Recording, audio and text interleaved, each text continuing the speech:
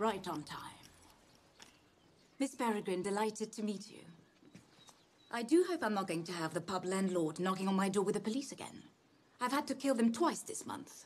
It's been terribly inconvenient. Millard broke a few things, that's all.